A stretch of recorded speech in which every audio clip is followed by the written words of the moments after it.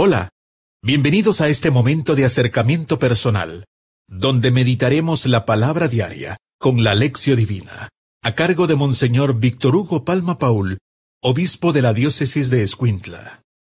Miércoles 22 de noviembre. Ya siga el Cordero crucificado por nosotros. La Virgen llena de valor, ofrenda de pudor y víctima de castidad. Oremos. Dios nuestro, que nos alegras cada año con la celebración de Santa Cecilia, te suplicamos que lo que devotamente se nos ha transmitido sobre ella nos sirva de ejemplo para imitarla, y proclamemos las maravillas de Cristo, tu Hijo, reflejadas en la vida de tus santos. Él, que vive y reina contigo en la unidad del Espíritu Santo, y es Dios, por los siglos de los siglos. Amén. Lectura del segundo libro de los Macabeos. En aquellos días, arrestaron a siete hermanos, junto con su madre. El rey Antíoco Epifanes los hizo azotar para obligarlos a comer carne de puerco, prohibida por la ley. Muy digna de admiración y de glorioso recuerdo fue aquella madre que, viendo morir a sus siete hijos en el espacio de un solo día, lo soportó con entereza, porque tenía puesta su esperanza en el Señor. Llena de generosos sentimientos, y uniendo un temple viril a la ternura femenina, animaba a cada uno de ellos en su lengua materna, diciéndoles, Yo no sé cómo han aparecido ustedes en mi seno. No he sido yo quien les ha dado el aliento y la vida, ni he unido yo los miembros que componen su cuerpo. Ha sido Dios, creador del mundo, el mismo que formó el género humano y creó cuanto existe. Por su misericordia, Él les dará de nuevo el aliento y la vida, ya que por obedecer sus santas leyes, ustedes la sacrifican ahora. Antíoco pensó que la mujer lo estaba despreciando e insultando. Aún quedaba con vida el más pequeño de los hermanos y Antíoco trataba de ganárselo. No solo con palabras, sino hasta con juramentos le prometía hacerlo rico y feliz, con tal de que renegara de las tradiciones de sus padres. Lo haría su amigo y le daría un cargo. Pero como el muchacho no le hacía el menor caso, el rey mandó llamar a la madre y le pidió que convenciera a su hijo de que aceptara por su propio bien. El rey se lo pidió varias veces y la madre aceptó. Se acercó entonces a su hijo y burlándose del cruel tirano, le dijo en su lengua materna, Hijo mío, ten compasión de mí, que te llevé en mi seno nueve meses. Te amamanté tres años y te he criado y educado hasta la edad que tienes. Te ruego, hijo mío, que mires el cielo y la tierra, y te fijes en todo lo que hay en ellos. Así sabrás que Dios lo ha hecho todo de la nada, y que en la misma forma ha hecho a los hombres. Así pues, no le tengas miedo al verdugo. Sigue el buen ejemplo de tus hermanos, y acepta la muerte, para que, por la misericordia de Dios, te vuelva yo encontrar con ellos. Cuando la madre terminó de hablar, el muchacho dijo a los verdugos, ¿Qué esperan? No voy a obedecer la orden del rey. Yo obedezco los mandamientos de la ley, dada a nuestros padres por medio de Moisés. Y tú, rey, que eres el causante de tantas desgracias para los hebreos, no escaparás de las manos de Dios. Palabra de Dios. Te alabamos, Señor. Salmo responsorial Salmo 16. Escóndeme, Señor, bajo la sombra de tus alas. Escóndeme, Señor, bajo la sombra de tus alas.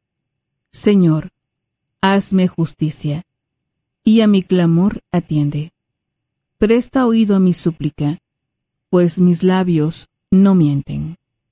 Escóndeme, Señor, bajo la sombra de tus alas. Mis pies en tus caminos se mantuvieron firmes. No tembló mi pisada. A ti mi voz elevo, pues sé que me respondes. Atiéndeme, Dios mío, y escucha mis palabras. Escóndeme, Señor, bajo la sombra de tus alas. Protégeme, Señor, como a las niñas de tus ojos. Bajo la sombra de tus alas, escóndeme, pues yo por serte fiel contemplaré tu rostro, y al despertarme, espero saciarme de tu vista. Escóndeme, Señor, bajo la sombra de tus alas. Aleluya, aleluya. Yo los he elegido del mundo, dice el Señor, para que vayan y den fruto, y su fruto permanezca. Aleluya. Lectura del Santo Evangelio según San Lucas. Gloria a ti, Señor. En aquel tiempo, como ya se acercaba Jesús a Jerusalén, y la gente pensaba que el reino de Dios iba a manifestarse de un momento a otro, Él les dijo esta parábola. Había un hombre de la nobleza que se fue a un país lejano para ser nombrado rey y volver como tal. Antes de irse, mandó llamar a diez empleados suyos. Les entregó una moneda de mucho valor a cada uno y les dijo, inviertan este dinero mientras regreso. Pero sus compatriotas lo aborrecían y enviaron detrás de él a unos delegados que dijeran, no queremos que éste sea nuestro rey. Pero fue nombrado rey. Y cuando regresó a su país, mandó llamar a los empleados, a quienes había entregado el dinero, para saber cuánto había ganado cada uno. Se presentó el primero, y le dijo, Señor, tu moneda ha producido otras diez monedas. Él le contestó, Muy bien, eres un buen empleado, puesto que has sido fiel en una cosa pequeña, serás gobernador de diez ciudades. Se presentó el segundo y le dijo, Señor, tu moneda ha producido otras cinco monedas. Y el Señor le respondió, Tú serás gobernador de cinco ciudades. Se presentó el tercero y le dijo, Señor, aquí está tu moneda. La he tenido guardada en un pañuelo, pues te tuve miedo, porque eres un hombre exigente, que reclama lo que no ha invertido y cosecha lo que no ha sembrado. El Señor le contestó, Eres un mal empleado. Por tu propia boca te condeno. Tú sabías que yo soy un hombre exigente, que reclamo lo que no he invertido y que cosecho lo que no he sembrado. ¿Por qué, pues, no pusiste mi dinero en el banco, para que yo, al volver, lo hubiera recobrado con intereses?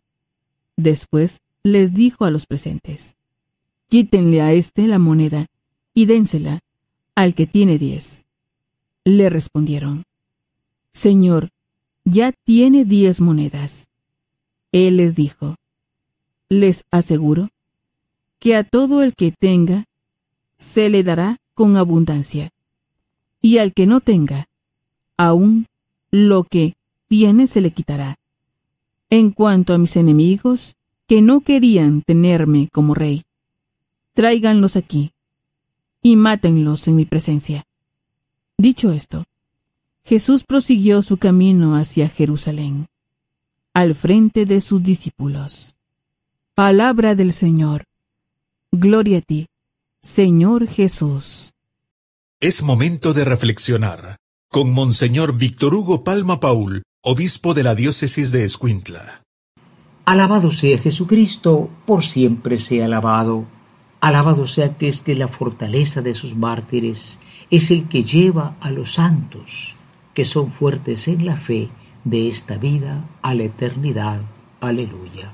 Le saluda hermano su servidor, Monseñor Víctor Hugo Palma, obispo de Escuintla, invitándolos para que siempre sintamos, mediante la palabra, la invitación a contemplar la vida de los santos. Hoy contemplamos una santa muy antigua, Cecilia. Cecilia que es patrona de los músicos, Cecilia que dice la tradición que era ciega, en fin, una mártir de los primeros tiempos de la iglesia. Habrá 1800 años tal vez, pero alguien que pasó a la historia de la iglesia por la fortaleza de su fe. Por eso hoy decimos, ven Espíritu Santo, ilumina mi mente, abre mi corazón, para encontrar en tu palabra a Cristo, camino, verdad y vida. Ayúdame a seguir hoy el llamado de Cristo según el ejemplo de María, a una vida nueva, según la palabra de Dios, para ser en el mundo un enviado del Señor, un testigo de la fe, un hermano y un amigo, un discípulo misionero del Padre, del Hijo y del Espíritu Santo. Amén. Qué importante, queridos hermanos, es, como digo, el mensaje de hoy, porque se nos habla de, de la fortaleza de la fe una fortaleza de la fe que también, hermanos, pues es como quien dice dar el fruto de aquello que el Señor nos dio. He comentado muchas veces de esta persona que me decía, pasé años, pasé años llevando el nombre de cristiano católico, pero después me di cuenta de que el Señor también espera de mí algo, el testimonio. Somos discípulos, o sea, seguidores de Cristo y también sus testigos. No nos pide cosas el Señor. Cuidado con estos predicadores comerciantes que andan pidiendo el diezmo para Dios y para que Dios te bendiga y no te pase nada. Bueno, eh, Dios te cuidará siempre. Pero el testimonio es el testimonio de la fe. Por eso hoy esta larga lectura de estos hermanos que son eh, sacrificados delante de la madre y después la madre también es sacrificada es un ejemplo de fortaleza. Además, es una enseñanza hermosa. Recordemos que los protestantes no creen en la vida eterna, no creen bien, ¿eh? mucho menos los otros, no digamos mormones testigos de Jehová, porque este es el texto de la Biblia donde dice que Dios dará vida a los muertos. Y nosotros oramos por los difuntos porque precisamente tenemos esta conciencia, ¿no? Esta vida es un paso a la otra, a la verdadera. Mueren estos dando testimonio, o sea que al final pues se encontraron con el que les había dado la vida, y la vida es como una moneda preciosa. Hay que hacer que produzca, no dinero, no bienes, va, si se puede hacer más, por el bien está bien. Pero entonces es como la parábola de los talentos, el Señor les da diferentes eh, monedas eh, de cantidades y al final Aquel que había recibido solo una no hace nada. El Señor le dice, no pusiste mi dinero en el banco para que diera más. Y entonces quítensela y dénselas a los demás. Y después dice una frase misteriosa. Al que tenga se le dará, al que no tenga no se le dará. ¿A qué se refiere eso? ¿Qué injusticia? No, no habla el Señor de dinero, habla de la fortaleza de la fe. A veces no pedimos la fortaleza de la fe. Tenemos un problema, una dificultad y la fe desaparece, se apaga como una candela. En cambio, si la nutrimos con el testimonio, esa fe nos hará fuertes. Preparémonos a la meditación. Hoy en la meditación nos preguntamos, este ejemplo de los hermanos macabeos que murieron delante de la mamá y de último ella, nos ayuda a pensar que realmente esta vida la podemos perder de muchas formas. No tiene que ser el martirio, puede ser una enfermedad, una bala perdida, pero pensamos como tenían ellos claro que hay otra existencia y que merece que la preparemos. Y la segunda pregunta, la vida o lo que Dios te ha dado realmente estás haciendo que produzca un fruto, no es cosa de contabilidad, es cosa de amor. El amor siempre es fructuoso, es productivo del bien. Preparémonos a la oración. En la oración de hoy nos dirigimos al Señor Jesús, que es este Rey que se va. Tarda mucho, pero un día volverá y le decimos, oh Cristo, te damos gracias porque pones en nuestras manos el poder producir más fruto, el fruto de la fe. Haz que no temamos perder ni siquiera la vida por tu nombre, por tu gloria, por la fidelidad a ti, y que tengamos la firme esperanza, como decimos en el credo, creo en la resurrección de los muertos y en la vida de otro mundo futuro, así seremos fuertes siempre con la alegría de la fe. Amén. El Salmo 16 tiene en su antífona, Escóndeme, Señor, bajo la sombra de tus alas. Escóndeme, Señor, bajo la sombra de tus alas. Bueno, que el Señor tenga alas es una figura, ¿no? Imagínense en el desierto, ante ese calor, el águila eh, protege los, los pollitos, ¿no? Porque puede venir otro pájaro, pero el sol es tremendo. Ahí encuentran ellos sombra ponerse siempre bajo la protección del Señor, porque hay enemigos de la fe esperando que nos volvamos débiles para atacarnos. Pensemos en este momento, en este hombre que no hizo nada, no hizo nada con lo que le habían dado, se lo guardó para sí mismo o, lo devolvió así nomás, y pidamos la fortaleza de la fe diciendo, escóndeme Señor bajo la sombra de tus alas. Hoy en la acción queremos proponernos, hermanos, fortalecer o pedir el fortalecimiento de nuestra certeza en la vida eterna. Repito, decimos en el credo, creo en la resurrección de los muertos y en la vida del mundo futuro. Amén. Pero lo decimos como que no mucho. El que cree vive según lo que cree. Todo, todo es relativo, todo valor puede pasar, pero no aquel que nos espera para siempre, como estos hermanos fueron valientes porque tenían fe. Y en segundo lugar, pues también revisar que estamos ya caminando al final del año, tenemos que dar cuenta de aquello que se nos dio, la vida. Los mártires perdieron su vida, prefirieron que les quitaran esa moneda preciosa, pero sabían que había otra recompensa. Que esto sea posible por intercesión de esta santa tan antigua, Cecilia, patrona de los músicos. Y bueno, esta santa que no sabemos muchísimo de su vida, solo que siendo joven fue verdaderamente virgen y mártir en la fortaleza de la fe.